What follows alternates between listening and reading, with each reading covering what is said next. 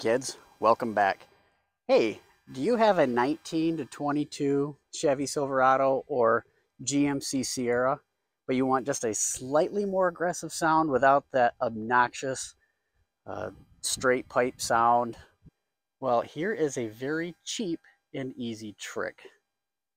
Because what I have is this 22 Silverado. Obviously, I live in a neighborhood, and I don't want it to be too aggressive, but or overbearing. And all you need is two things, a hose clamp and foil tape. And I know that sounds terrible, but this is what we do. There are resonator vents on the side of your, at least with this one with a dual exhaust. Both sides have it. You can see it over here, right there. And what you do is you take the foil tape and you wrap it around those vents.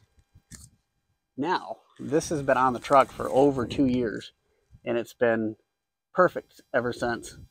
No issues. Under on this side, this has the flapper valve, I guess, to kind of quiet it down.